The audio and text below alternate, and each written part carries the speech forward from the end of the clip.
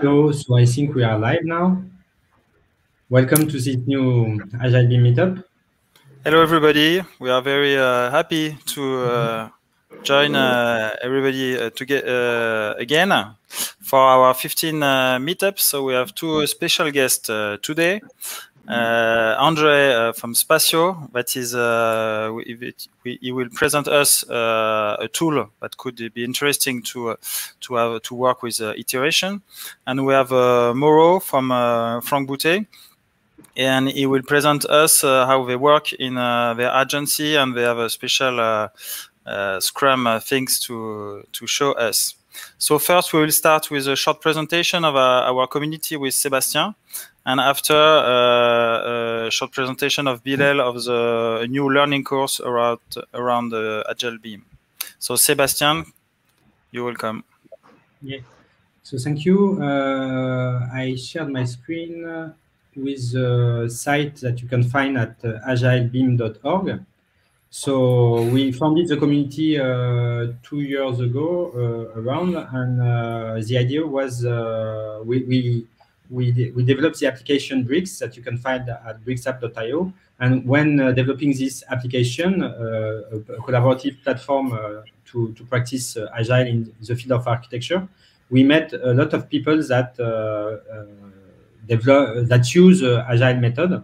So people that inspire from computer world or people like Mauro that you, you are going to, to see later who, who learn as a Scrum Master, for example. And uh, we wanted to have a, a space, a, a, place, so that people can exchange and to uh, to put together some documentation about how to practically start with Agile. So you, you will uh, you could go to this site uh, agilebim.org and find uh, especially on this page join Agile BIM community, and you, you will have a lot of link uh, to join the community. So it could be uh, join our Slack to, to, to do some day-to-day -day conversation, uh, to go on the LinkedIn group if you want to publish, for example, some example of your, your practice. And uh, you, the main uh, one important place is the YouTube channel. So if you go in the YouTube channel, here you find the live, of course, because ah no, my, my page is not shared. Okay, I will just share again the YouTube channel. Sorry, but uh, I, I, will share it. But uh, basically, so in the YouTube channel, we, we put all the meetups, uh, all the meetup, and uh, so this one plus uh, the 15 other meetups that we have made. And uh, you, you, yeah. Don't hesitate to subscribe to to our channel, Agile BIM channel, to put the finger. And we, uh, you, you also have some uh, some short uh, formations, so on on some specific agile approach, like how to do a delimiting in the field of AEC, how to do a board to to list your task, and so on. So I, am going to be short, and uh, I just uh, give you the, the speak, uh, Bilal. So Bilal will present you a new training that we are starting to do. So both in France and now uh, with a coach from the UK. So please, uh, Bilal, can you explain us? Yeah, thank you, Sebastian. So everyone, uh, we, we, we're gonna create a new kind of learning experience, which is a masterclass in English. So we already started in French with, uh, with Francois, and now we will start in English in September 22. So what we learn is very simple. Uh, we, I'm gonna give I'm gonna give you a link, and what we learn is very simple. It's to if you want to start working at night and working on the weekend, if you want to learn how agile can improve your daily work, your daily and your collaboration with your colleague and in your team. So I think it's a good learning. It will be on 22 September, which is uh, on the after after holiday, so we'll be in shape to learn new stuff. New stuff and it will be with me, and it will be also with um, Edward Murphy, which is a, a smart a Scrum Master in uh, in UK. And so uh, I have, last but not least, we have a gift for you, which is a, a coupon, which is a reduction of forty percent for the masterclass. So I just put on the link on the chat. To not be too long to, for you, and so see you soon. I hope in uh, in the 22 September So, uh, and we will learn and enjoy also having a professional learning with uh, professional with a lot of practical stuff, not just theoretical. And uh, it's it will be a, a lot of uh, session after that, but it will be the first. And uh, I'm very happy to announce you today, and very happy also to to give the gift, which is uh, how I, I said um, a coupon of 40%. So just uh, check in the chat and you you have all the of all the information. So thank you, and I think it's okay for me. Yeah? Thank you, Bilal. So we have a few of this uh, masterclass in French uh, in uh, in uh, from uh, April, and it will be very interesting to to meet a very different people from architect to engineer to to client, and to to try to to search for how we can work better together with BIM and for a better construction. Okay, thank you, Bilal. Thank you, Sebastian. So we will start with uh, Andre. So, uh, so Andre, you, you work for Spacio. Uh, so, and you you will present uh, your uh, very interesting tool. So we'll start with a presentation of uh, 30 minutes, and after we'll have a, a question and answer. So, Andre, it's up to you. Okay, thank you very much. Uh, I want to say we appreciate very much the invitation to the Agile BIM meetups. It's uh, really nice to be here and talk about our upcoming uh, platform. Uh, I trust the presentation is visible. Otherwise, uh, please shout out or make some notice. Um, so today I will talk about uh, the current web-based design platform we're developing at the moment. It's called Spacio. And I will share a bit about the vision behind the platform and the technology and uh, why we set out on the mission to develop it. Um, so the team developing the platform consists of these three people, where it's me and my two colleagues, Frans and Stian. Uh, all three of us share uh, background and knowledge within parametric design and coding and uh, also experience of working as architects, uh, engineers, environmental designers, and BIM experts. So we decided, the three of us, to join forces and create a company called Data Trees, um, where we develop um, these digital, digital tools, and we have as a mission of uh, enabling access to building knowledge so we're a startup uh, company from uh, Norway, and we're operational in Norway and Sweden. And we set ourselves out on a mission to make building information reusable and comparable in the industry. Um, because we have to face the fact that in the AC industry, we're creating a tremendous amount of uh, data. And it's very, very limited the way we, we analyze and retrieve that data from our models. And I firmly believe that the ability to capture important information and transform that information to useful knowledge is uh, critical to the success of improving our existing workflows and how we approach uh, building design. So we can quite easily see and realize that we're pretty much solving a lot of the same problems over and over in projects. And most projects, they start from quite a blank canvas or that they start from scratch.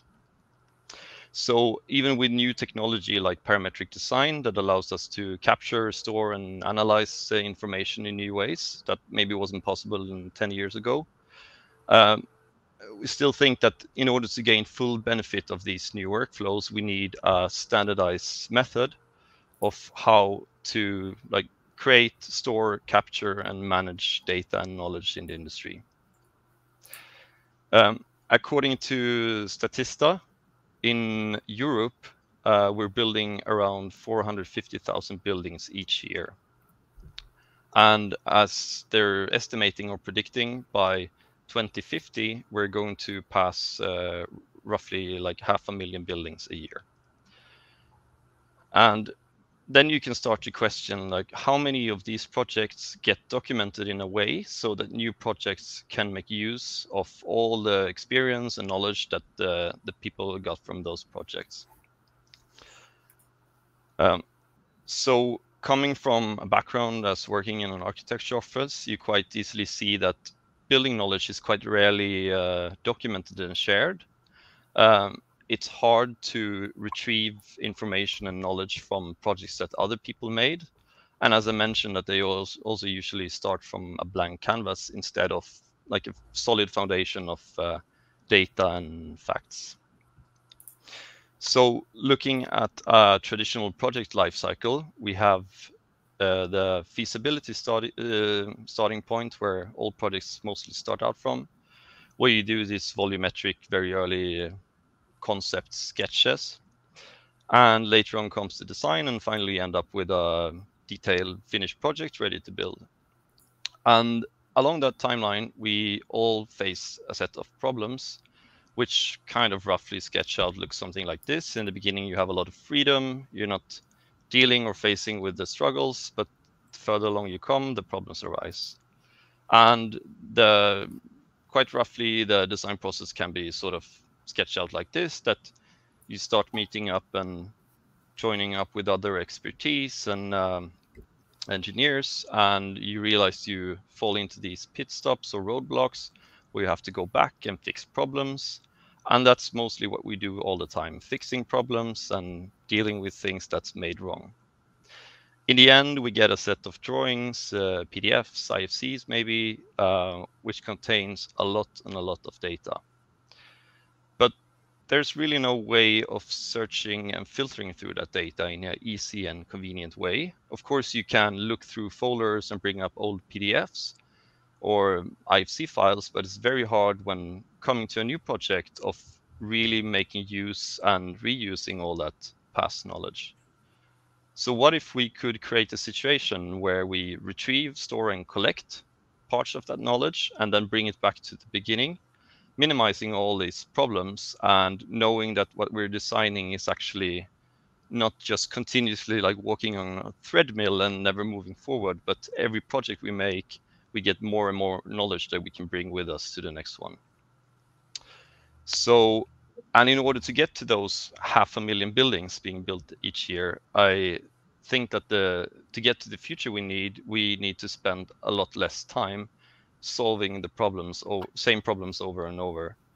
Um, I think we need to focus uh, on designing better buildings, and in order to get the answers and the decisions along the way, it needs to be faster and easier.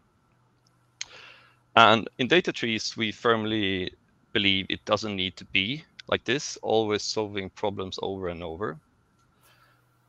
That we believe it's possible that we can collect and reuse and learn from past experience. And then by doing so, we can start like asking quite complex questions along the project timeline. Like how does the centrality of an entrance door to an apartment affect the qualities? Or where should I place my windows to get both good views, good daylight conditions, and good energy performance? Or what's the average size of a living room in a two bedroom apartment? Um, when I'm designing a new one, I want to know how does it compare to the rest of the database, sort of. And how what does the height do for a building and how high does it need to be in order to block like noise pollution entering the courtyard? or which factors causes a street to have bad wind conditions? These are all very complex questions, but are more easily answered by having a solid foundation of past experience. But then the question then comes like, how do we structure building knowledge? How do we make it easily comparable and useful? Uh, we know that we have to document all the data, and then we also see that there's a need of a platform to allow the user or the designer to visualize, compare, and iterate through these uh, data sets. Um, the problem that's stopping us from uh, reaching this level is at the moment that the current state in the industry is that we're dealing with fragmented data, very siloed expertises, and also non-uniform way of how we represent buildings. And it's a it's it's a dam of different different file formats that don't communicate back and forward. So very easily it becomes quite obvious that we need to centralize and structure our data and come up with like a uniform way of representing buildings so that we know that each project kind of speaks the same language to get this in order to work at a larger scale. And that's the our solution to this is by representing buildings as uh, data trees and thereby the name of our company. So by data trees, we're referring to that each and every building element or each and every module in the building has a parent and a child relationship. So for example, that if we start off with the building, the building contains the storage, which in, um, in the next step contains the spaces, which in terms contains apertures. And by building up all these um, like hierarchical or logical connections between the elements, we get adaptive and a uniform way of representing and describing a building. And thereby we can create these very adaptive responsive models, which works really well for running different types of environmental analysis on, or in general, like space or data analysis and sort of, and thereby can be more quicker and more creative in our design process. As a response to this, this is where Spacio comes in, um, the design building design platform we are developing. It's a design tool in the web, in the browser, and uh, we see the browser as a very intuitive, uh, easy accessible uh, environment for users to design projects and store and work in in a collaborative way. And it's very much the typical um, design tool that you're used to and in terms if you compare it to Rhino or Revit or your traditional uh, BIM tool. So you can uh, sketch or work in floor plans or split up modes or control uh, your metrics and spaces and so on.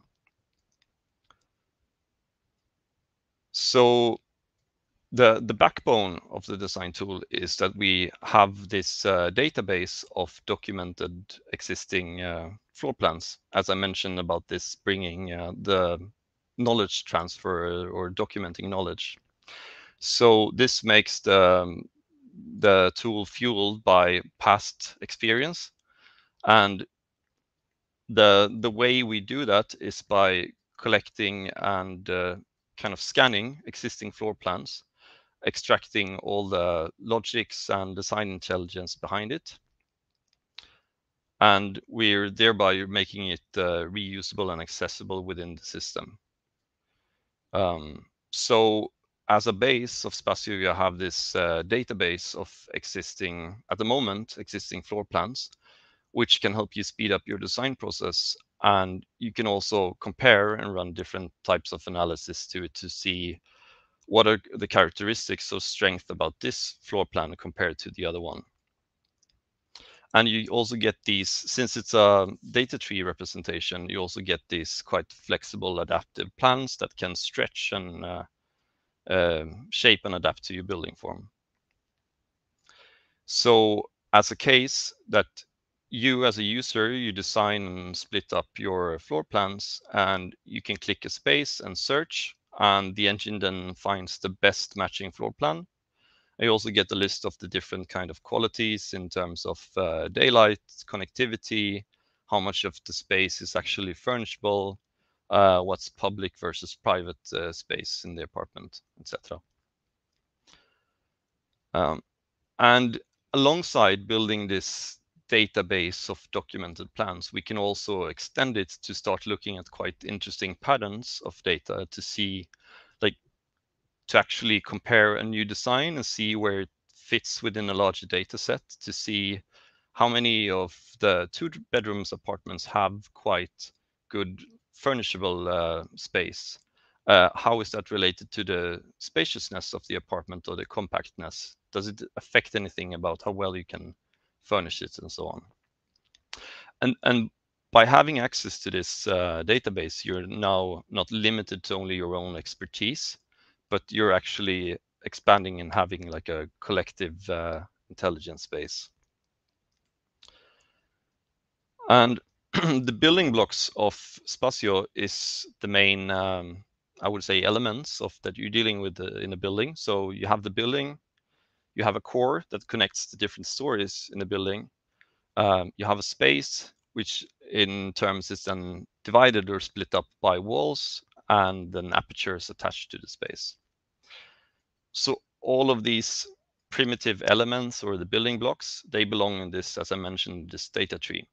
So by changing attributes in different levels, I can click the building and say that I want all windows in this building to be two meters wide.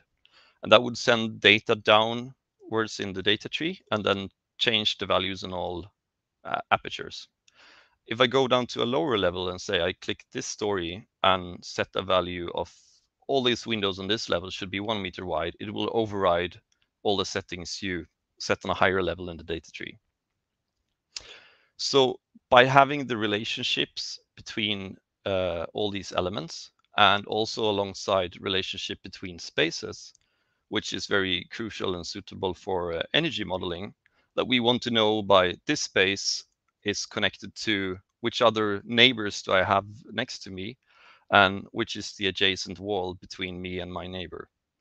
And I want to give a shout out to also a, um, app called Topologic and Wassim, who's developing that, where a lot of the inspiration of this system comes from, where it's also about taking a BIM model or a quite complex model and building up all these both horizontal and vertical adjacencies and relationships in a building model. And the beauty of having these relationships is that you can also start to query or ask quite uh, complex questions to the system that you can, for example, say, show me all bedrooms that don't share a wall with any adjacent apartment. And the system then knows about the relationships and will filter these out. Or say, how many apartments do we have in this project that has more than one facade or, or facades towards more than one direction? And just this question in a regular BIM model would be it would be possible to solve, but it's a bit of a struggle to get there. Whereas this is um, you have that all the intelligence baked into the model and the system.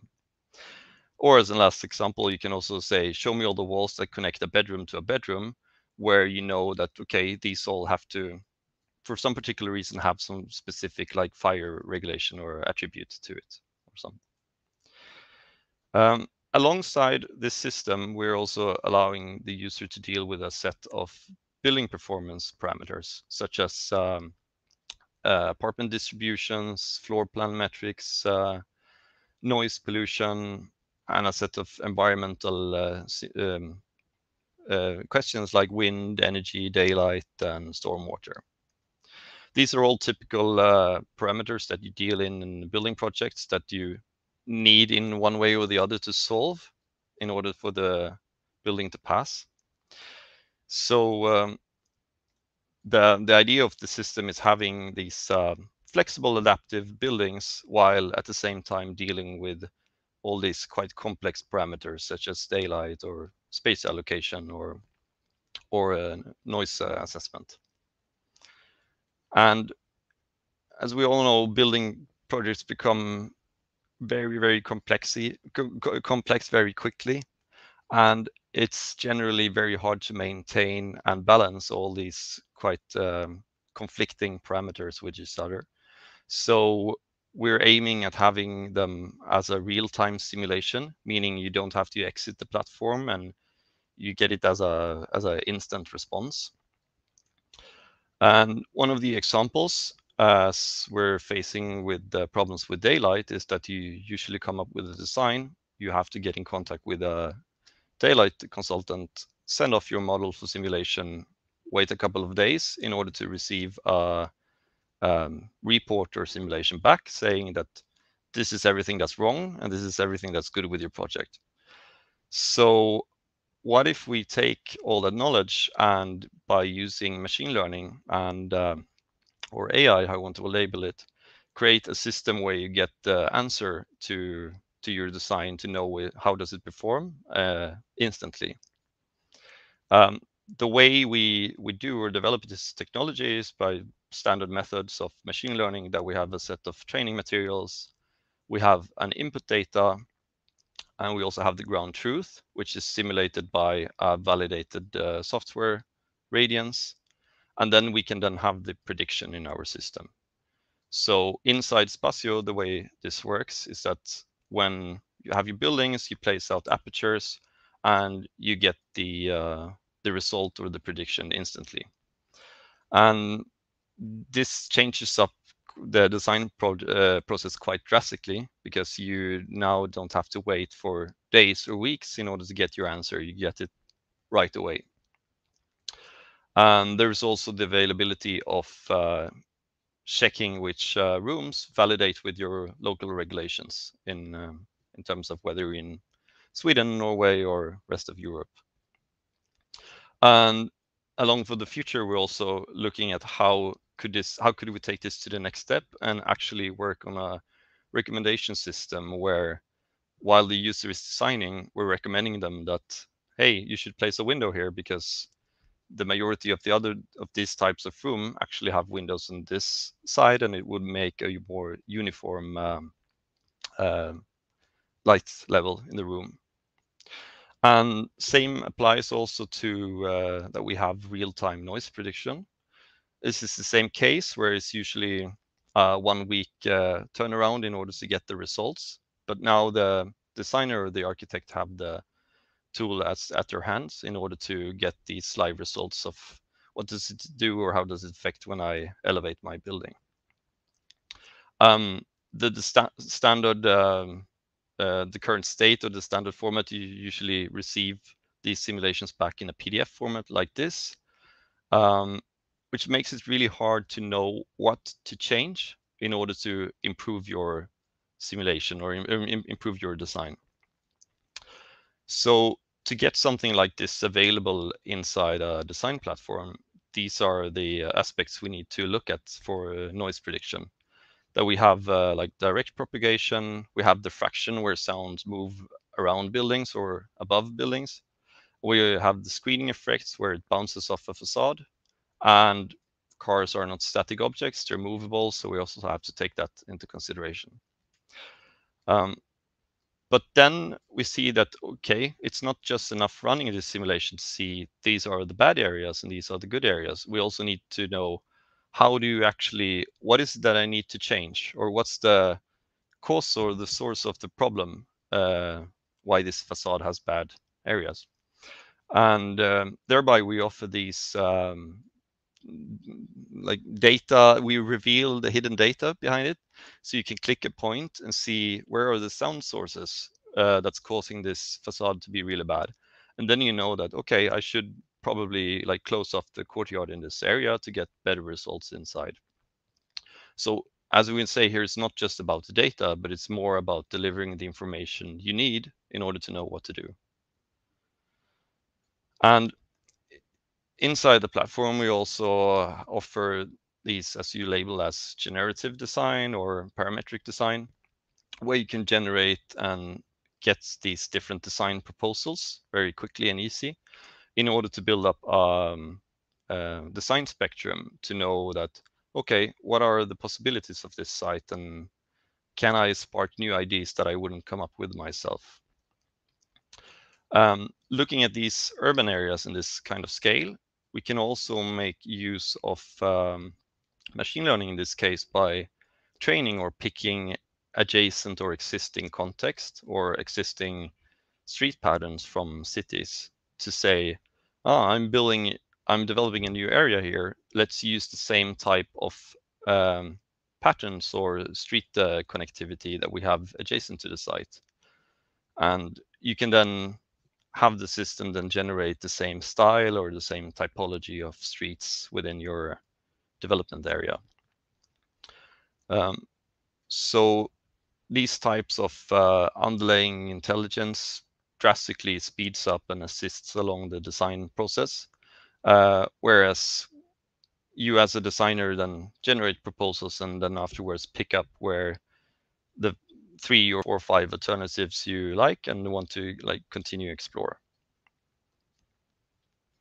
Or if we pick it down to not urban area, we're looking at smaller areas. Again, it's about these uh, generating this design palette of different possibilities where where you get the full palette of stuff that you wouldn't think of yourself. And also getting this layer of uh, attached data to it to know, okay, this aligns very much with our targets and the performance we want, or this alternatives might not be the best one, but we're enjoying a lot of other aspects of it, or more softer values. Um, and also the same logic and uh, way of generating stuff applies to, for example, like space uh, distribution or allocation, where you have a set, certain set of target of uh, apartments you want to fit in your buildings.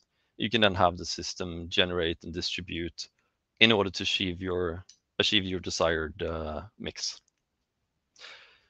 So we also firmly believe that Spacio is not the isolated environment. Uh, we uh, interoperability and uh, all this, we know all the different file formats exist in the industry. So uh, it's of high importance for us to allow the user to enter the system from other tools or other file formats. As an example, you can take uh, come from an IFC from Revit or ArchiCAD, for example, upload it into the system. You click and decide what's interior space and what's exterior space. And then you have your IFC model up and running in Spacio, uh, built up with all these adjacency rules and the logics. And you can then very quickly run a daylight simulation or do an apartment distribution or whatever type of simulation or performance you want. And we also offer a live connection with Rhino, where if you favor sketching or drawing geometries in Rhino, you can draw your buildings or boxes from there, and it will live update and be sent to Spacio. And you have full control of your buildings where you can edit, sketch, and manipulate, or as we're seeing here, changing categories and calculating areas and manipulating. So with that, I want to thank you for my part. Um, the, the platform is currently in beta stage, and please go into the website and sign up for the launch. And if you have any questions, I'm more than welcome to you're more than welcome to ask them, and I will hopefully answer them as for now. Thank you very much, uh, Andre. It was very uh, impressive. Uh, so you you are addressing a lot of different uh, problematic in uh, in our industry. So you your tool work uh, on all these different uh, scale. So from the apartment to the to the city. Yeah, we want to we wanted quite early for it to be a bit uh, uh, very flexible in that sense, if I would say, uh, and kind of create a design system where it allows the user to both operate in the very large scale and small scale as well. And uh, we believe that the the main way of solving that is this with the data tree hierarchy again that we we can define at, to what level do we actually render objects. Is aperture something interesting to see in an urban scale? Probably not, but it still lies there as hidden objects, so to say and it was very interesting because it, it me that uh, uh, one of our, our um, uh, one people that uh, inspire us a lot, uh, Joe Justice, who is a very famous Scrum Master, he made a, a specific framework from hardware, and he recommend to use uh, uh, that he called modular component. So it was for a car, but it could work uh, as I, I, understand your your tool. You have some components you work for, for with room, with kitchen, with that have all uh, some constraints and they are connecting uh, together and that's uh, exactly the, the way he, he, he, tried to work with how to develop with agility a car so he, could work probably with a with a building with this kind of of, of approach uh, so you you talk about uh, I don't know if any other question, but uh, you talk about data structuration, and so what what are in the future? What are the, the, the tools you want to connect with? It's actually so IFC and Rhino, as I understand. And uh, so you know in our uh, you, we have a there is a more and more people working about how to connect some different uh, tools or different software. So what what is your vision about that? Um, I would say we try to be as uh, flexible and diverse as possible in that aspect because um, I mean one of the struggles also mentioned is this whole like the lifespan of data and we I think the industry needs that the a project doesn't die or it doesn't lose any data value along the the timeline. Um, for a new platform as Spacio, uh, I think it's very important to be connected, probably through uh, simple APIs or uh, useful APIs to other platforms. Because I know there exists a lot of new up and coming platforms that solves projects in a very, very uh, neat, complex way. And there I see a lot of value of having you don't need to save a file onto your desktop, move it, mm. upload it, but better just communicate through APIs. And I also think a lot of the, if I should say, older platform is also moving very much up to the web of becoming more accessible. Um, but uh, as an answer to the question, I think it's just what the user base asks for. If it's a mm. live connection to Revit or ArchiCAD, maybe that's, uh, that's the way thing probably. and thank you. And one one aspect that uh, uh, we are very interested in in uh, with agility is the um, is the iteration uh, fact. So. Uh, how do you deal with uh, how to an architect or an engineer can make some iteration and can I don't know save some test and compare things yeah the the what's not shown in the presentation is that you would have a like a dashboard of uh, sketches or mm. design proposals, so you can save it as your one, two, three, four, five option, and then then uh, also a data dashboard where you compare that. Okay, option number one have this much square meters, it has this good like daylight performance and so on. Um, so that's not maybe revolutionary or different than what's the traditional way of working uh, more that is just accessible on the web, and maybe the the data layers that you can compare different sketches across um, compared to dead IFC files. yes, that's uh, the problem. And you have a, a specific collaborative uh, process, so how to to have feedbacks from a client or some user. Uh, currently, we've been having it out for beta testing for the energy model, uh, which is, uh, I would say, a process of its own. And that's one of the other things we struggle with the platform. That we will have a lot of users coming in with different demands and different criteria. Mm-hmm. Someone just wants to make a daylight simulation. Someone wants to do a, energy model preparation. So um, it's about you're picking which, uh, when you start a new project, you're picking which modules that you actually want to focus on. Is um, stormwater of any interest for me? Probably not when I'm going to do an energy model. So, um, so and that's one of the collaborations we actually had with a Norwegian company for uh, energy simulations that we use Spacio as an IFC translation to energy model mm. um, to their energy simulation platform. So this is your test actually, and the people who are subscribing to the beta test, they are more architect, more engineer, do you have any ideas of uh, their profile?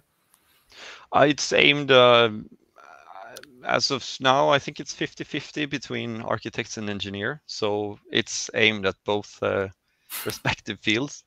Uh, whether you want to design or design a project from scratch, or whether you want to upload an existing project to run a simulation, it's it's suitable for both uh, areas. Okay, uh, so we have a question of uh, from uh, Edward Murphy. Uh, hello, Edward. Uh, so great presentation, Andre. Will Spacio provide sensitive analysis that is provide UI information to say what variables, attributes are providing the greatest impact?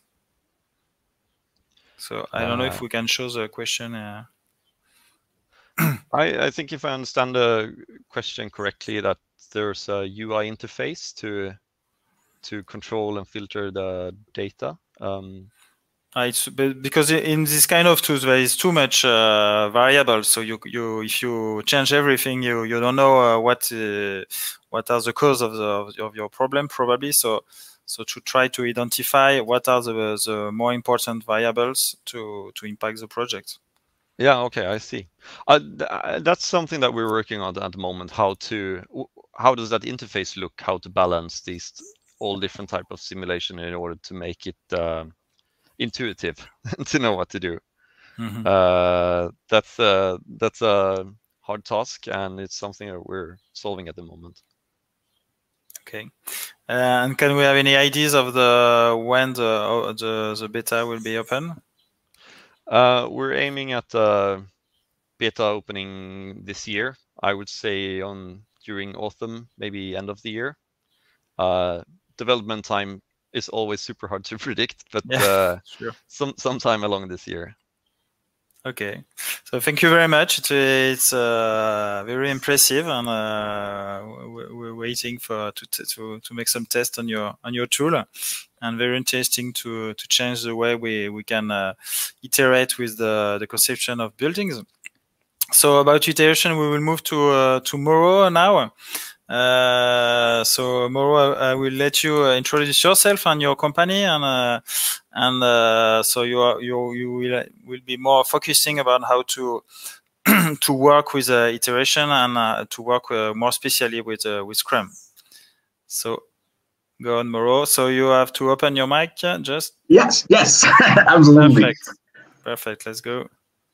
Excellent. Well, first of all, um, thank you very much, Andre, for your very, very interesting presentation.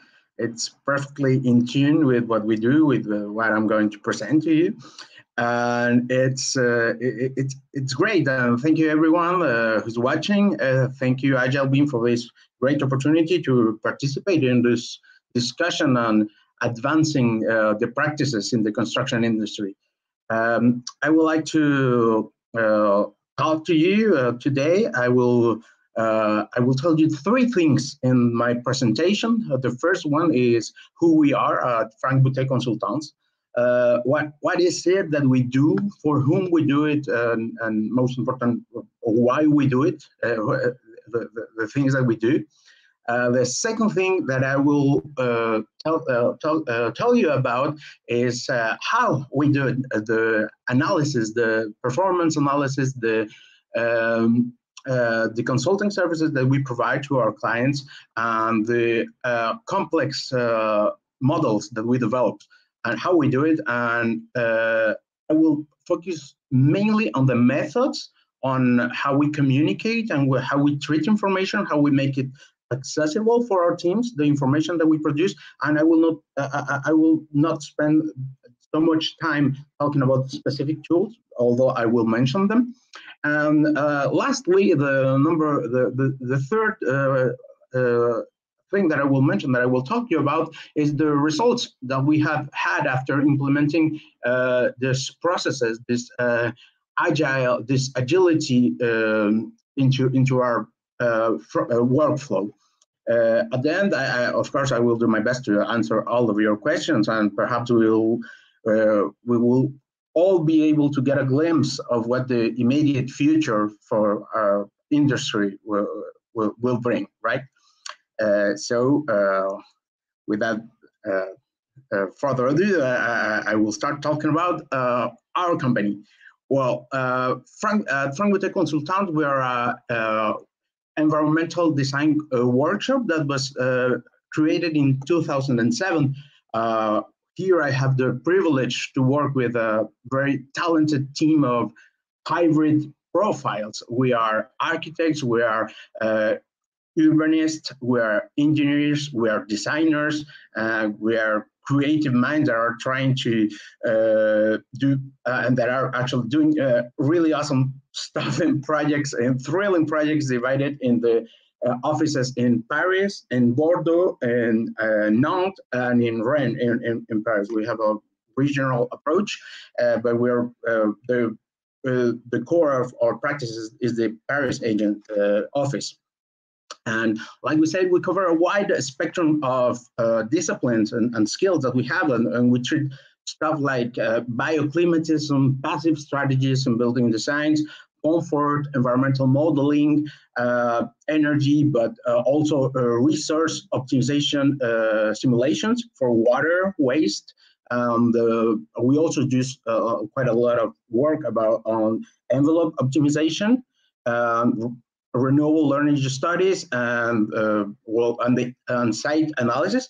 And especially now that the new uh, French environmental uh, uh, building code regulations are, are, are, coming into place, we are starting to do a lot of uh, life cycle assessment and carbon carbon footprint analysis for all the all of the new builds that are going to be that are currently being subject to, to this new uh, uh, Uh, environmental regulation uh, in France.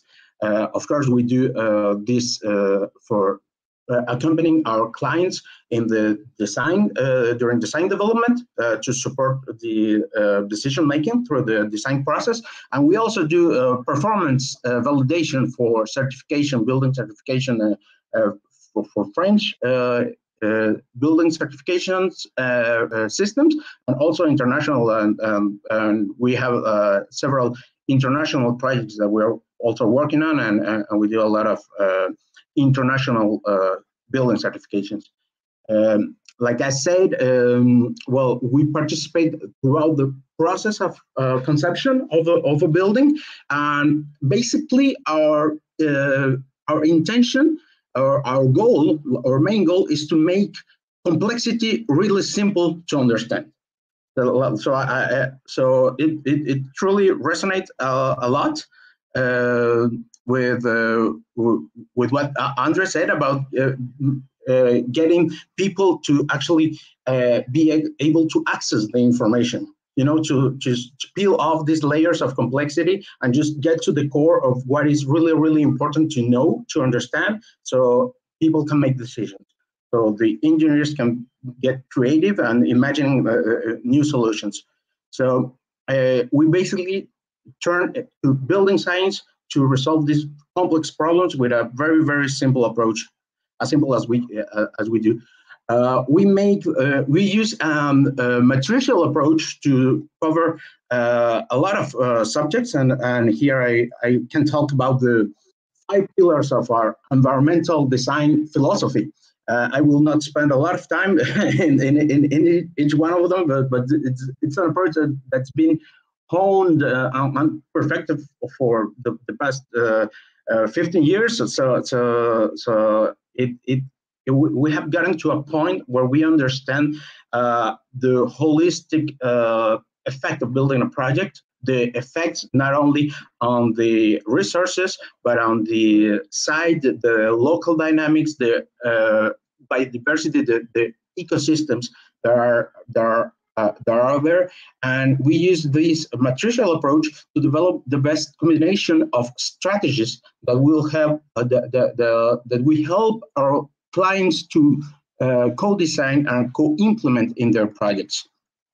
Uh, of course, um, our this these five projects, uh, uh, uh pardon, excuse me, uh, these five pillars of our, our, of our philosophy are then turned around and turned into specific actions that we help our, our clients. like I said, um, we tend to uh, start at the building level, but we do not limit ourselves to the building level. We work with uh, private developers, private owners, commercial real estate companies, but also uh, we accompany um, uh, authorities or uh, the representatives of larger territories that are looking for uh, ideas to develop uh, comprehensive uh, strategies or uh, regional development politics, uh, uh, and, we and we touch projects at every scale. So this is really really exciting, and we became to know to understand that to fully understand the project in its whole and fascinating complexity, uh, we came to the conclusion that it's uh, there is a lot of data that, that needs to be analyzed. And uh, we need and, and, we understood that we need not only advanced tools but a really really uh, efficient highly efficient workflow. And that is what i will talk uh, about in, in this next section. Uh, well well, this is the reason why we do it, of course. Uh, why we do it, uh, why why it, it, it's worthwhile to take the, the time and develop this workflow because we need to mitigate the effects. We need to be realists, not to be alarmist, but to understand the profound effect that humanity is it's, it's having on the planet. So how are we going to help adapt uh, the cities, adapt the development of societies? Well, we need to implement all of these strategies. Our approach, uh, like I said, has been is the product of the development of over 15 years of experience of uh, uh, a variety of uh, profiles, both in our collaborators, our key partners, our clients, and we basically uh, grew from the traditional model of an engineering design firm uh, where project managers sit down with the client, they understand their needs, and they receive a list, a list of requirements and expectations, which are then transferred to the production team that, uh, uh, uh with specific details about the deliverables. And upon the reception and validation of these deliverables, the project is moved to the next phase. Uh, the basic work, this basic workflow, which can be said uh, understood as a waterfall approach, it worked very, very well and allowed uh, Franck Boutté Consultants, our company, uh, to position itself through, hard work and many success cases. Uh, thankfully, we positioned ourselves as a leader and one of the most relevant actors in the French AEC ecosystems. So we performed environmental analysis. Uh, here I, I, present you some of the uh, uh, of the uh, of the uh, key project relevant projects over the last decade.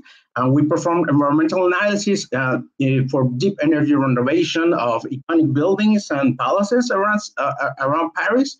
We also developed a very comprehensive, a highly detailed cartography of the Haussmannian city fabric in Paris. Now that you mentioned, Andre, about the, the, the pattern of development of cities, we, we, we developed like the, uh, our director, Franck, uh, participated uh, extensively in the development of an atlas of the uh, Parisian urban fabric, so we, we understand it very, very well. Um, like I mentioned, um, with the passing of the years, uh, this workflow was improved. Uh, new approaches were developed, and uh, um, we, we were keeping with the pace of the growing demand and reactivity um, uh, that, that was needed. Uh, around the 10th anniversary of the um, uh, of the office, uh, we started to see that the, the traditional waterfall-based model of conducting projects will eventually fall short, especially considering that with the advent of uh, AI and new challenges that were uh, starting to, uh, we do not have any uh, specific idea of what was coming to the horizon with the pandemic, but we understood that the rate of the exponential growth in the development of the um, design tools and uh, uh, the challenges that are inherent to the construction industry, we understood that we needed to shift a little bit our focus and start to look elsewhere for new methodologies.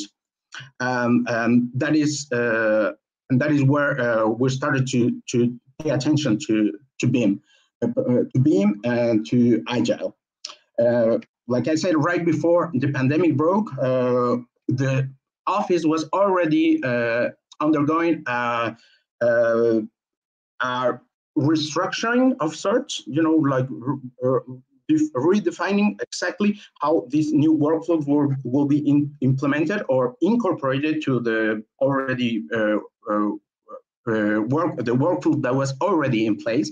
And uh, this uh, led us to the exploration of how different workflows uh, facilitated rapid interpolation or rapid iterations between the analysis, the complex analysis, the models that we developed.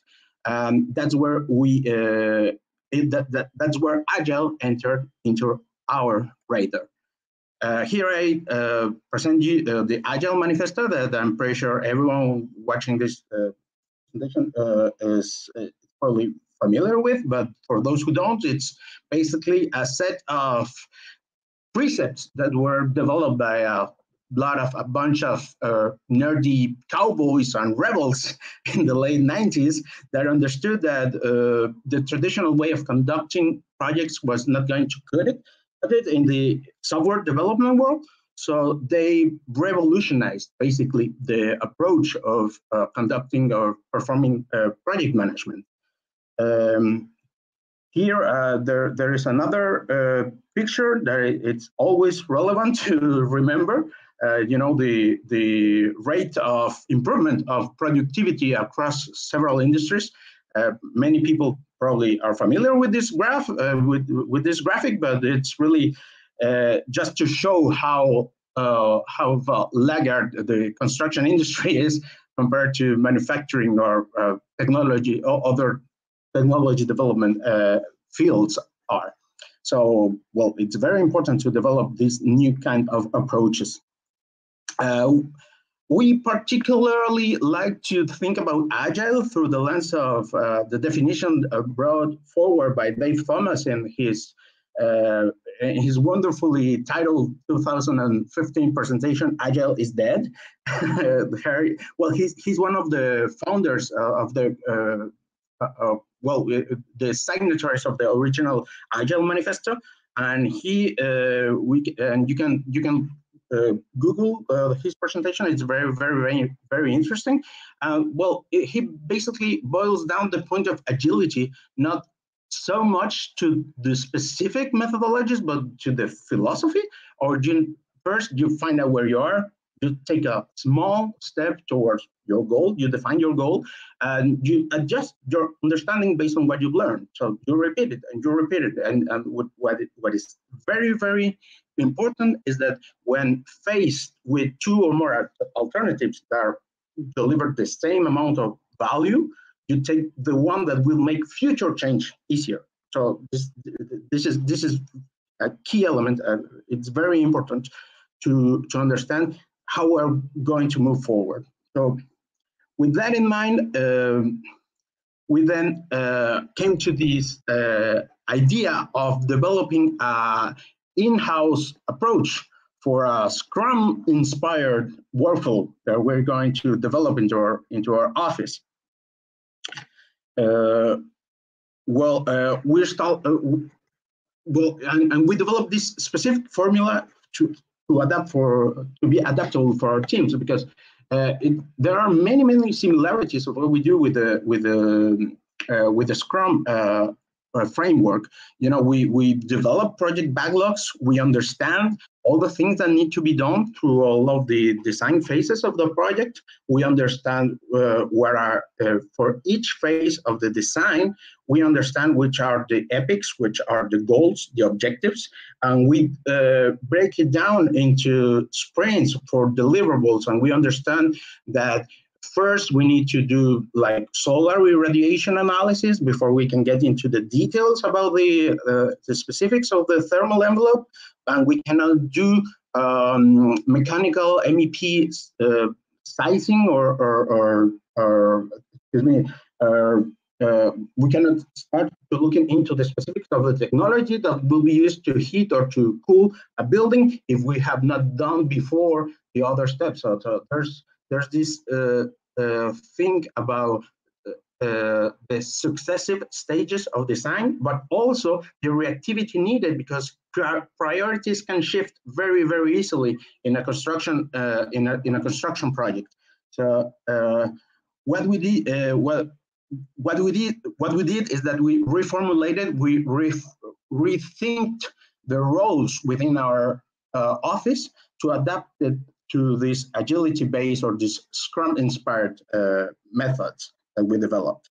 So uh, here I will talk to you about uh, the roles in our in our office. At the higher level, um, we function as a very conventional uh, engineering firm, or, or, or uh, where the uh, general direction, uh, director is the person that is in charge of engaging the market, our existing customers, or key partners with the help of what may be called the rainmakers, which are the people that make the, the, the, the that bring in the projects. Um, they engage and they uh, nurture these uh, relationships to bring in new business opportunities. When a new project is brought into our uh, our company, um, there is a role that is a key role that is the, the, uh, the direction of operations. The direction of operations validates uh, the mission, the, he, uh, they approve the budget, and they assign a project manager for each one of the new projects that are going uh, to be executed in the, in the office and they ensure the communication and the project fluidity and they uh, they manage the relationship the, uh, the contractual relationship with the client. Each of the projects like i said is assigned to a project manager who is going to be in charge of managing the budget defining the project objective uh, objectives, excuse me, um, and the goals and the project and defining the project priorities. But uh, but it is really important to to see that the uh, Scrum parallelisms start uh, forming at, this stage because they truly take ownership of the project of the product. So they are the POs. So this is kind of a, uh, a two-sided uh, project owner, the direction of operations, and the project managers, because they will uh, they, they understand the contractual engagements that we have with the clients. So they take fully ownership because they need to make sure that in the production side of our office, we understand uh, uh, and they look for, uh, uh they look out for the interests, interest, excuse me, of, of our clients. So um, it's really interesting. And then there is this another this other figure, which is the direction of studies, which is in charge of uh, not so much uh, managing the contractual relationship with our clients, but it's more toward the inside of our organization. Uh, the director uh, director of studies works, uh, coordinates, and co-validates with the project managers uh, the objectives, the goals, the acceptability criteria for the increments that are going to be provided. So we can talk about, we will talk about the increments that we create as a deliverable for a design process. Um, but, but he is in charge of coordinating the deployment of resources in our office. Resources being material resources, but also the uh, the timekeeping of the, of, of the, the, the workload for each of the team members. Uh, he validates the assignment of the team members the, the, for each project when the project manager start uh, uh, defining the priorities of the project. Uh, we have a we have a office that it's very transversal and um, we know the profile profiles of each other, so they have an, an initial idea of whom may be the best person that, that it's best fit for, for a specific analysis, and they put forward their pre-selection of the team uh, members that are going to be activated into this project. The direction of studies, he validates this uh, selection and he ensures overall the communication and facilitates the team, uh, the, the, the, workflow of the team. So in this, uh, if we carry over the parallelisms, the direction of studies is uh, the Scrum Master that's going to be uh, working. The parallelisms, although are not uh, direct because here we are talking of several projects working in parallel with the same Scrum Master. But uh, we, as we will see, uh, the ceremonies that are how we adapted the ceremonies allow for this.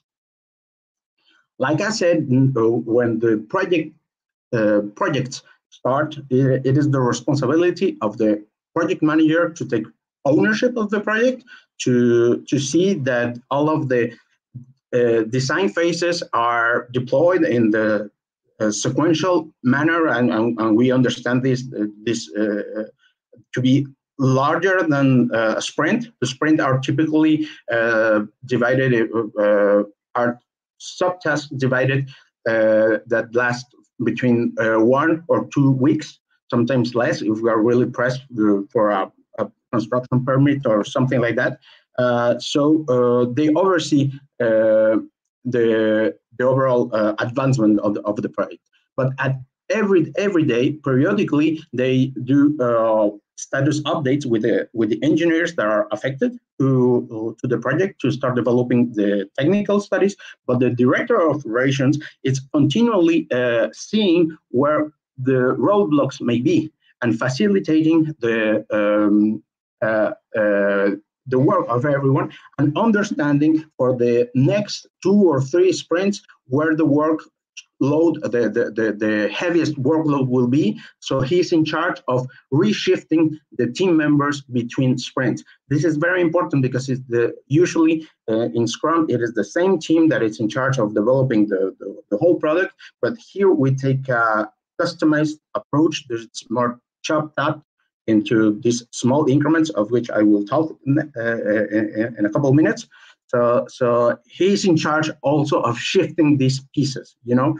Um, but of course, uh, the people responsible of producing these increments are the team, of which I'm proudly part, and I can tell you that it's uh, it's an incredible team of people, uh, young, motivated, really, really capable uh, of understanding the complexity of the buildings and producing really easy to understand uh, answers to the questions that are, that, that are asked by the designers, the engineers.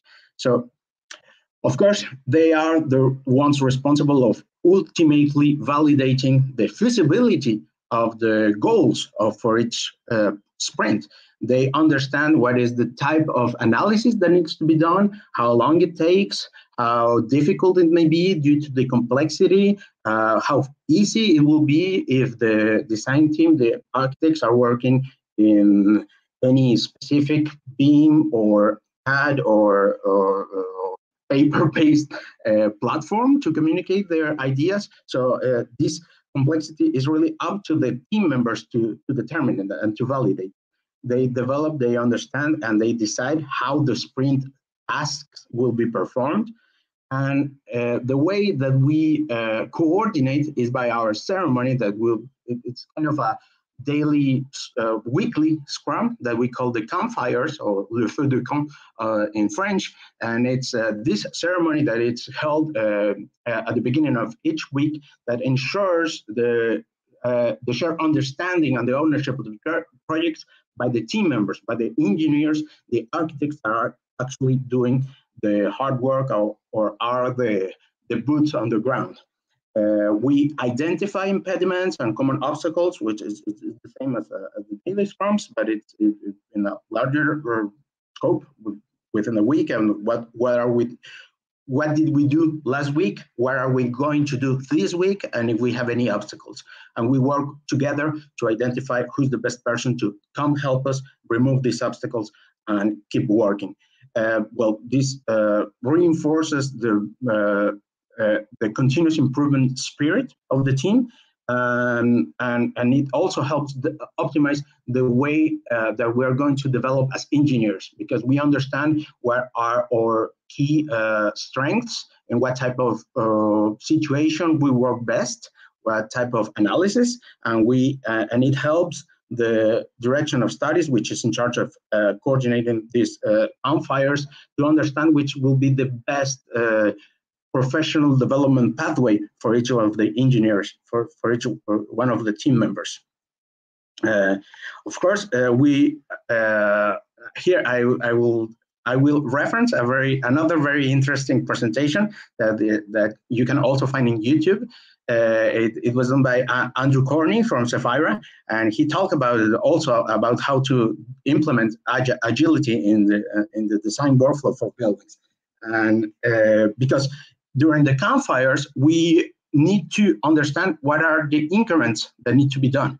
We understand the objectives that have been communicated by the project managers, and we understand that the how how we need to uh, develop the analytic models that we have. Uh, so what are the increments? What are the answers, the, the, the, the, work that we need to be done? In his presentation, uh, Andrew talked about the concept of uh, mice-sized uh, increments or elephant-sized increments, and both uh, the first ones are really uh, trivial and they do not contribute to project value, and the elephants are impossible to do. To do. So he talks about duck-size increments. The, uh, these increments that are the correct size to uh, to provide value uh, to be manageable by a by a team member and to be produced uh, at the end of a week or, uh, or, at the end of two weeks of the intervention that, that, that we will have. So uh, we focus on these dot size increments that are really manageable uh, and we develop them. Uh, another uh, key thing is that we use a lot of tools. And here, like I mentioned, I made a focus on the methodologies that we use, but uh, in reality, the tools that we use are uh, all of the latest and most common used uh, uh, by design firms.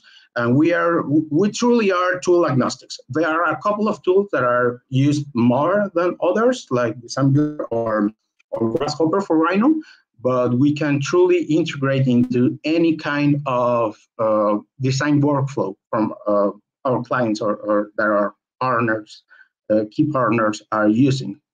But we are also developers. Uh, we are also uh, uh developing uh, uh, tools in scripting tools that allow for the playing with the morphology of buildings of at the urban level based on key environmental um, indicators. Uh, right now, there is about a dozen of them that, that ranges between uh, view access, it, it's it's very similar to to what uh, to what Andre mentioned, uh, and we uh, we developed from an initial proposal that it's put forward by the by uh, one of our partners or our clients, the architects, and we pass it through mesh to this uh, morphology, environment, sustainability, and human comfort tool that we have developed.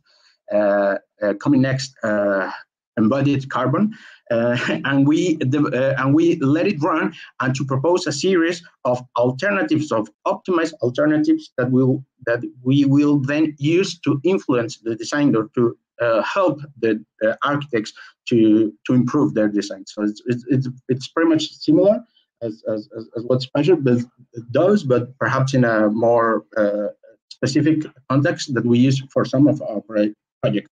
But we also develop our tools.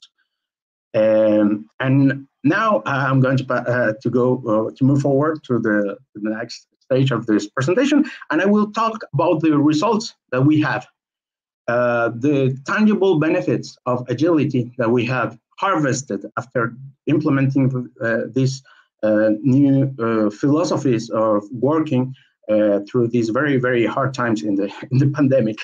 well, of course, things are common to all of the organizations that start using Agile. We enhance, visibility, the sense of shared ownership. Uh, the teams are, are, are, are very motivated. Um, we develop a true sense of psychological safety for, for, for our uh, for engineers who are developers in, in sorts. So um, we understand that the, the, the best, uh, the, the more develop this sense of psychological safety is, everyone will be better uh, able to concentrate on the work, to be really, really a high performing individual and part of a team. So, uh, but in the terms, uh, in terms of organizational results, we have improved the reaction time uh, a lot. and we have increased our capacity to, seek more business opportunities. And how did this happen? Well, our intention was to turn bars into clouds. And, uh, and this is uh, th this is a screen capture of uh, the reports that we have from our uh, uh, from our organization management tool, that, where we see uh, where everyone is going to be working through the coming weeks and where everyone is assigned to new projects. So we have here the case of three three people, three engineers that are working in our company. Uh, the first one of them throughout 2020, he was not there uh, for the first months of the of the year, and, and, and that's me. and, but the other two are are uh, are very very uh, uh, efficient engineers that I have the pleasure to work with.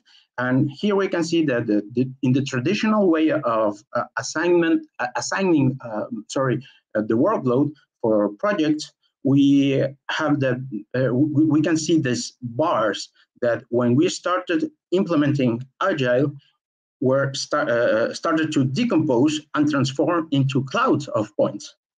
And these represent actually actually the amount of increments that we are able to to produce because we are now capable of assigning and reassigning the engineers to intervene in several different uh, uh, uh, projects and develop their uh, specific increments. There's dog size increments that are very manageable uh, uh, and, and feasible, and they produce a lot more.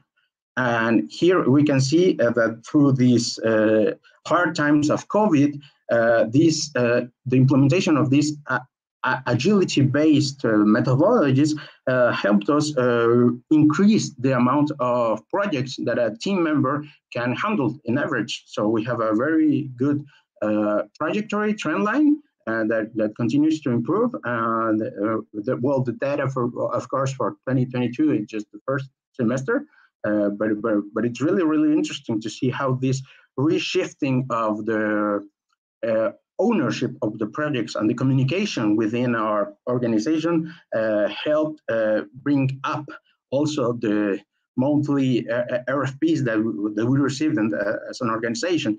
Uh, of course, there's a tendency to have to get a lot of more requests by the end of the year. So that's why this there's a little bit of lag there in 2022. But we can we can see by tangible numbers that are in our uh, organization software that, that, that, we can see the results of a better communication in our teams. Uh, here, um, and, and, this uh, just to uh, wrap up this this talk, I will I will show you some recent projects that uh, that are interesting and where we have applied this um, uh, interoperability and agility, uh, agile methodology methodology for communication within our teams. This is a headquarters of for our uh, uh, for a cosmetics uh, company that, we developed uh, with our uh, one of our uh, key partners, the, the architects, Oxo Architects. And this is a very interesting expansion of the exist, existing building because it's brown, it's wooden, it's there are a lot of environmental factors that need to be taken into account because it's subject to the new French regulations. So there's a high emphasis on thermal uh, uh, summer comfort and low carbon uh, materials. So these are some screenshots of the kind of studies that we uh, that we developed. We started in basic uh, Excel spreadsheets, just analyzing, sorting out the, the, the, the, information. We imported the Rhino model and we developed uh, um, some uh, a script for easily uh, changing or making variations on the geometry we developed and we tested uh, around 360 different uh, variations for um, for shading solutions uh, in uh, in relation to the orientation of each of, of each of the of the windows. And for, by orientation we develop a specific set of guidelines uh, for the architects. It, it, was a really, really interesting and, and constructive experience. Uh, another uh, recent project that we uh, a couple of week, weeks ago we we got the first uh, place on the on the in, in, a competition to redesign the exterior pedestrian pedestrian areas of Notre Dame in the heart of Paris. Like, like, like you know, the cathedral is undergoing a major work due to the uh, devastating fire that took place. Uh, but the, the but the city took the opportunity to redevelop all of the pedestrian areas, and here we are going to be performing some really interesting. This is an upcoming project. Uh, here we are going to be developing really really interesting uh, urban scale um, uh, thermal comfort modeling. the cool island effect it's going to be uh, explored, uh, coupling this uh, refreshing effect that the that the river will have, and we and the active cooling strategies, uh, the, the hybrid active and passive cooling strategies that we will develop for these exterior areas. It's going to be something really really interesting, and uh, managing this incredible huge amount of data can only be done by implementing uh, agile principles. And uh, here I uh, this is uh, Paris 2024 for the uh, project that's going to be uh, that's be currently being built in the north uh, in the north side of Paris for the Olympics. It's going to be hosting the badminton and gymnastics uh, uh, events in the Olympics and Paralympics. It's uh, it's uh, it's an arena. It's a really really complex project. We have a contractual uh, uh, engagement written in place to a performance. Uh, uh, it's a performance valid uh, perfor energy performance engagement or an environmental. So we developed one of the not not the most complex energy model that we have developed, but is one of the most complex energy models that we have developed. And it's a challenge because it needs it needs to be calibrated to what the uh, results of commissioning will bring forward. So we developed this from the initial pre-conceptual phases of design uh, when, when, when, we were in the competition, uh, and we developed uh, uh, uh, and we carried the ball forward all the way. And we're going to be developing this calibrated energy model that it, it's going to have to correspond to real life data measurements and the variability that, that, that will come with the exploitation of, of, of this, uh, uh, the operation of this building. So it's going to be, it, it, it is really interesting right now how we're going to, uh, how, how we are uh, doing the regular updates for the project, just seeing how uh, the construction is it, it's, it's advancing and how we are going to calibrate this highly complex energy model. Uh, lastly, just to wrap up this presentation, uh, this is a personal uh, reading recommendation that uh, helped me understand a lot of the complex dynamics be behind uh, be behind high-performing teams and how to avoid how to avoid information silos within organizations. It's a it's a it's a very very good read that I highly recommend. And it's written by the, an American uh, general that was in charge of developing the strategy in the Middle East uh, in the early 2000s. So it's a, it's a really interesting book. Um, just to close out, uh, it's it's a question. It's a call to action. Are, are, you prepared? Are we all prepared to the challenge of this uh, deluge of data that's going to, to take us and, as an industry. What are we going to do? Are we going to be innovators and develop the, the skill sets and the tools that are needed? Or, or what are we going to do? And with this, I thank you very much and uh, look forward to hearing your questions. Thank you very much, Mauro. It was uh, very interesting to have a real example of a company who, who are implementing uh, uh, this kind of uh, agile practices. And so, uh, so how many people you have in your company? You don't, you didn't mention it, I think. Uh, we are currently uh, 36 or 37, if I don't get it wrong, because with the regional offices, I, I may be not up to date. but okay. Uh, most of our staff is, is in Paris.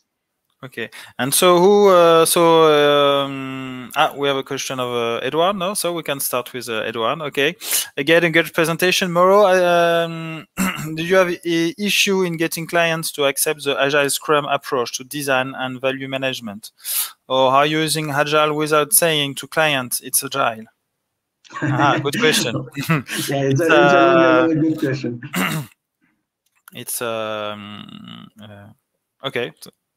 Well, yes, of course, there is a, there is actually a whole branch of agile that it's been developed to to include uh, contractual negotiations and uh, and developing contractual relationships in an agile manner. But I can say that in uh, as as far as it goes to the contractual relationship with the, with our clients, it's a it, it's a traditional one. The, the approach that we take, but, but, but it, it's very much in line when we cross this threshold to the interior of our organization that we are have the flexibility to to to accommodate several project, projects running in parallel, but it's actually uh, part of the, uh, uh, the, the the importance of the the, the the role of the ownership of the, the project managers that they don't we don't need to uh, uh, well, it's not that we are hiding anything, but we don't need to bother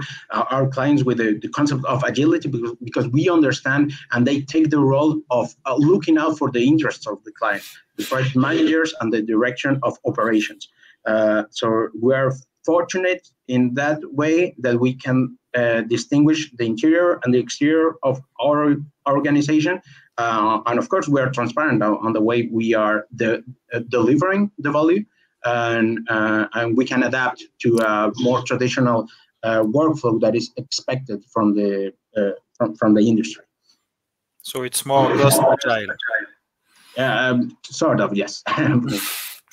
okay, uh, and and so and but so so it's it's uh, in fact it's thanks to the COVID that you implement this uh, new approach. And so who really who initiate initiates that, and how how do you uh, make your your way in a, um, in trying to transform all the organization like that? Well, it's not it's not as much as as, as uh, getting our way or, or trying to transform. Actually, like like I mentioned, the transformation was already undergoing uh, before the pandemic hit. Mm, okay. So there there was this uh, restructuring, this reinterrogation of how the how the office could improve the already uh, established workflows that we had. So a lot of uh, a lot of that went to the the way uh, the the the office presents itself and how they understand the needs from the client. And there there was a, a, a really nice, neat effort uh, uh, that that that bring in brought in into the practice of the office Uh, at this level uh, concepts of uh, design thinking, of understanding the, the value that we're going to be proposing to our clients. But this this predates uh, my arrival in the office and this uh, and the exploration of new communication structures or, or, or ceremonies within our organization. So we are fortunate in that way. The, the direction, the general direction of the of, of, the office has always been on the lookout for ways to improve the, the way we work, the way we talk. So, and it shows, and, and, and, and I'm very, very proud of be, being part of this team and, and, and, and uh, um, the people that on a daily basis uh, do awesome stuff, like I said. So that, that's you that uh, begin to implement this new approach. Sorry? It's you that uh, begin to implement this new approach. Uh, you mean me myself as a person? Or, well, yeah, yeah, yeah. Yeah, well. No, yes, because I, I, I know that you have a that you are uh, that you are uh, you have a certification of Scrum Master. Yes, so I, uh, I guess yes. probably you. Well, but uh, well, it, it, it may be it, it, may be that in the way that I, I, I came out with the idea of the parallelisms to to to Scrum.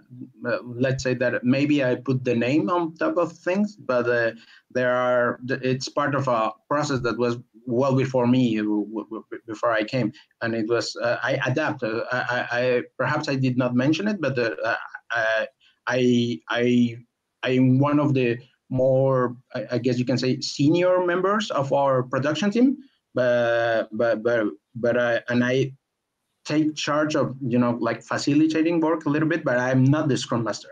That's really important to say. Uh, I am a part of the team, and, and, and I think everyone has the potential to, to become the Scrum Master, the facilitator of the work of everyone else. So, uh, so that's another thing that is not directly as Scrum, but I can uh, I, I could not say that it was me that brought agility into our organization because because it was already there. Perhaps I just gave it some uh, interesting new names to it, but there, there, there are principles that were already being implemented. But so do, do you recommend to, to have this uh, Scrum certification? Or? Absolutely, absolutely. I, I, think it's a it's a it's a great way to delving into uh, what agile in general is. Well, well, you start by the by the specific methodology, which in the in the more most recent uh, uh, guide, I think it was the in 2020 or 2021 that was the first French translation for the Scrum guide. So, so, so it's a it's a really good way, uh, very well structured to get into um, in, into Agile. Uh, I, yes, I, I, I, will highly recommend it uh, to, to take a course or uh, uh, uh, do a, a for, formation, like we say in, in French, mm. to, to, to, understand in a better, in a more formal way yeah, how mm. Scrum works. It, it, it, it I, I, will highly recommend it. And so you, you uh, uh, very inspired by Scrum. So, did you implement all the the artifacts of Scrum? Like uh, you don't uh, talk about retrospective or daily meeting. Is it uh, on your way also? Well, well, the daily meetings are more uh, informal, but they occur every day in the morning. Uh, we we we get up to date uh, around the coffee machine. Perhaps we're we're going. What are we going to do? But it's more formal at the beginning of the week, and there are parallel ceremonies also for project owners. The the uh, the the meetings between the direction and the and the uh, on, on the project uh, on the project managers. Uh, but we do not, we still do not have uh, formalized things like uh, sprint retrospectives or, or project retrospectives. Of course, we have them in the way of uh, what we call uh, capitalizations or capitalization. When we finish a really landmark project and we take the time to, to share this with the people, uh, but we have other uh, other artifacts or other ceremonies that are not part of Scrum that are being developed by us. It's our very own recipe. We have something that it's really really cool. That it's the Le Jeudi du Pourquoi.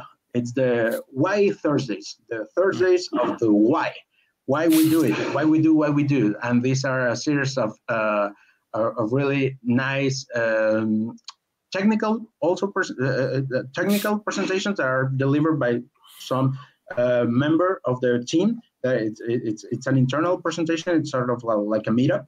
And, and, and we talk in detail about some specifics of some uh, uh, aspects of, of, of, of, relevant projects in our organization.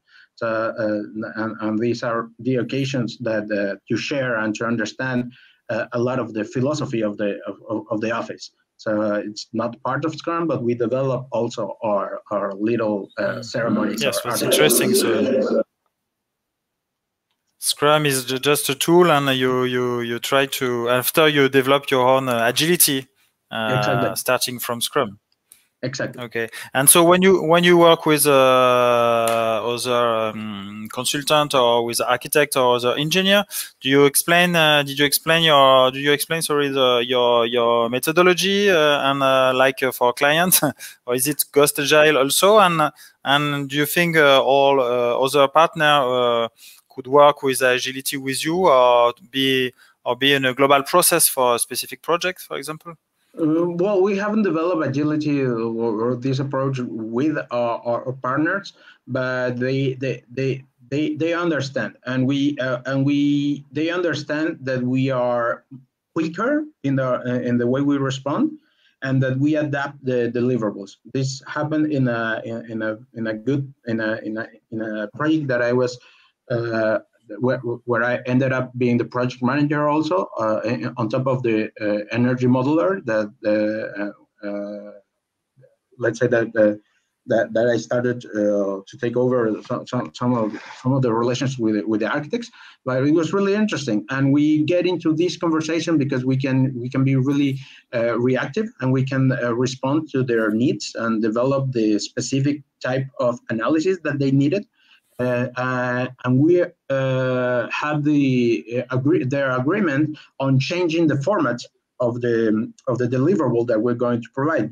Typically, it's a it's a technical report, uh, descriptive notice, uh, with all of the details of the calculation. And we agreed that this document will be done, but at the end of the of, of the intervention, at the end of the schematic design phase. And for the intermediate deliveries, we will not focus on developing a technical report. That uh, at the end of the day, uh, it's it, it's passed down to the client, uh, uh, but all of the uh, introductory parts, the methodology, all that is overlooked, and they go straight to the pictures straight to the conclusions, to, to the analysis of A, B uh, versus C, and what's going to be the, the most optimal um, uh, uh, solution. So we, we, we, we negotiated that and we decided to only do intermediate deliverables in this in the in the in the form of uh, PowerPoint presentations of PDFs uh, that will be uh, explaining in a very very graphical way uh, the key elements of the analysis, and at the end present the client with uh, the next steps and the decisions that need to be taken. and this uh, this facilitated the work of the architects also, but and and allowed us to to continue this highly um, Uh, uh, uh, rapid iteration cycles between managing our different projects running in parallel. So we didn't need to explain to them the specifics of the methodology, but we just told them this is going to work and they, we believe that this, this is going to work and we are going to present you with deliverables, intermediate deliverables that will be useful, a lot more useful than a 30 page long uh, technical document, which at the end we, we did uh, at the end of the phase of schematic design and we accompanied it uh, in the form of annexes with all of the intermediate uh, uh, uh, presentations that we that we developed. So it can be adjusted also uh, when we're yeah. working with other engineering or other architectural firms. Did you have discussion uh, with uh, some architect or engineer on, on how to implement uh, Agile in, in, their company? are they curious about that? yes, well, actually, the, there was a conversation that, that, that went a little bit like uh, the, around that time, I found the work that is being done in Switzerland by uh, this, uh, with the uh, uh, with the agile uh, contracts. I skipped my mind. The, the, the, his name is Mirko, I think, the, the, the guy that's doing this in Switzerland. Uh, uh, and and I mentioned that to, one of our clients because uh, it, it, was a it was a complex. Well, all of the projects are complex, but it was a project that was in the Middle East with people working from England, from France, and from other countries in the Middle East. So uh, it, it, it, was a lot of moving plates that needed to be uh, to be coordinated. And it was right at the beginning of a new design phase. And uh, I, I, I, mentioned that it may be uh, interesting to analyze the idea of alternative contractual uh, definitions uh, for all of the for, for all the key partners, uh, and I believe it's it's something that that, that is going to be developed because it, it is needed to to have agile uh, contractualization of responsibilities and it's going to be it's going to stop being so much of a ghost uh, uh, initiative from from the part of, of some people. Okay, uh, I don't know, uh, guys, if you have a other question. Uh, just uh, the more the, the more challenging to to switch from classical to agile methodology. What is for you? What is more challenging to convince people internally and to change their methodology? Uh, you, you faced some problem or it was very smooth? Well, it, it has been smooth. I think it, it, there are natural uh, worries that come out in terms of are we going to respect the budget, the schedule? Uh, are we going to be, are, are we sure we are going to be relocating that much uh, some uh, well at, at, the end of the day it is necessary because we have a lot of projects running in parallel but sometimes there's there might be some apprehension uh, uh